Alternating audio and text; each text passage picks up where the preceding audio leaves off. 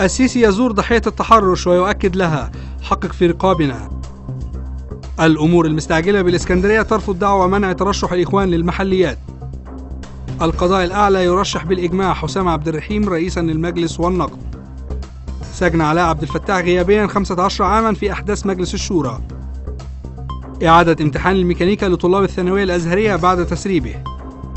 التموين تقيم معرض للسلع بأسعار منخفضة استعدادا لرمضان.